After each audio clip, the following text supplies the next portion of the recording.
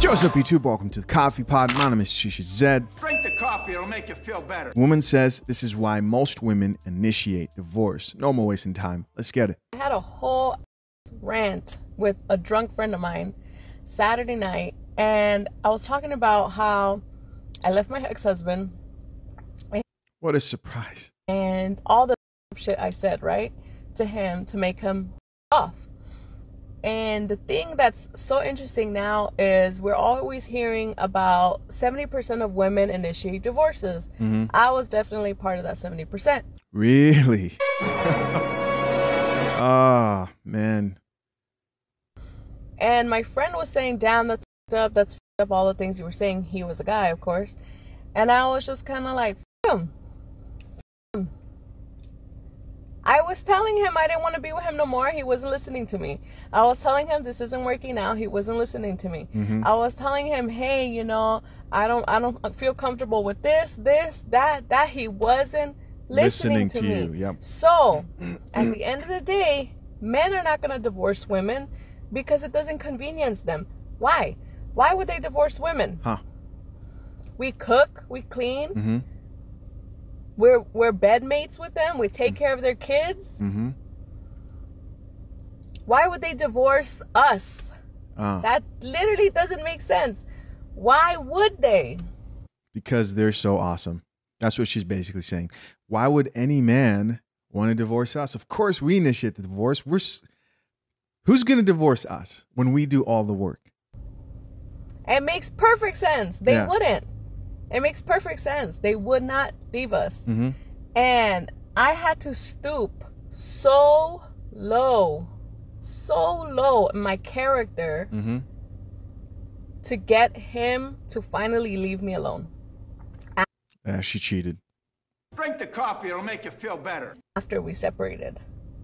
And he still didn't want to divorce me. He still didn't want to divorce me. It took like 4 years for us to like officially divorce after we split up. Okay? So, yeah, guys don't want to divorce women because it doesn't convenience them. They're not trying to go out into the world and play that game of trying to find another idiot to marry them. They're not trying to deal with that. They're literally afraid of alimony. I don't know why, but You really don't know why? Women. are. You guys need to look up why alimony was created. Look Uh-huh. it up and you'll figure out what that was about. My point is, we need that attitude in 2023. F 'em. Mm. F 'em. You're sick of your shit? Leave. You can do that. You know that? You can leave.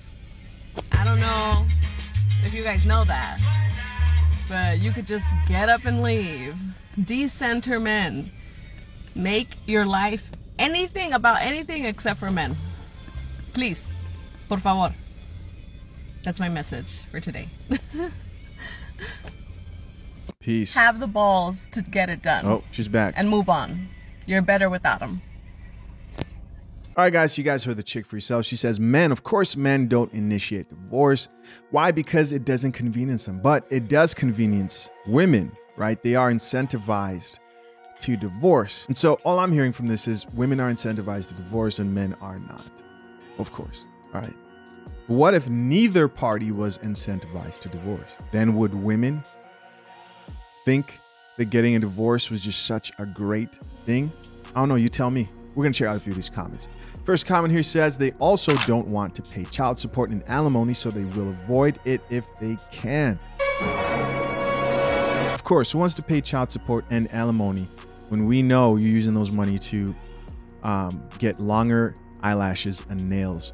Next comment here from another person says marriage benefits men more than women. I think it benefits society as a whole um, the most right? Society as a whole, the most. Because you could argue that if we remove shame from divorce and we remove shame from women being promiscuous, then women now get to choose who they want to be with. But what happens? Well, if you allow women full reign to exercise their own mating strategy without any pressures from society or guidelines or expectations, they're going to chase top percent man. And so in that case, you could say men who are in the middle or lower than average on the socioeconomic hierarchy won't get access to the majority of women.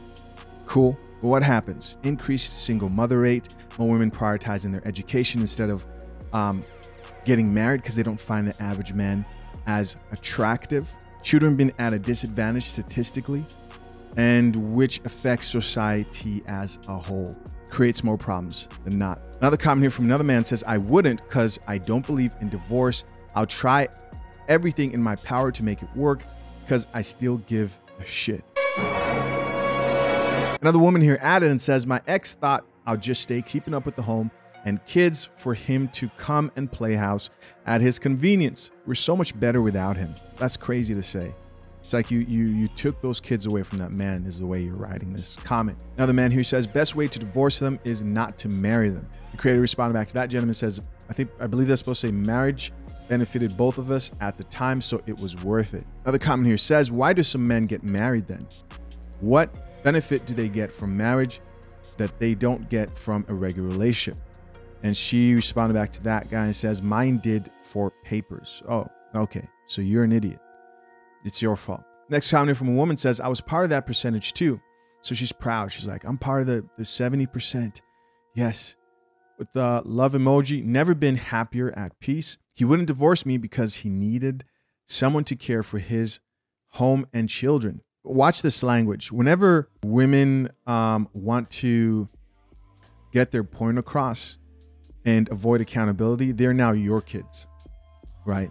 When she's now doing better without you, it's like me and my kids are better without him. She goes on to say, didn't child rear, didn't clean, didn't cook, didn't do nothing but leave and come when he wanted and played with kids when he wanted. Now he has a schedule to see his kids.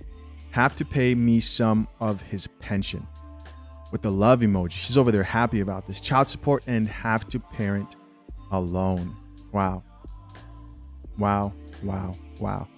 Yeah. Be careful out here, man. Be careful. Listen, as always, curious to know what you think. Leave your comments down below. I appreciate you for checking out another episode of The Coffee Pod. Till next time, I'm out. Peace.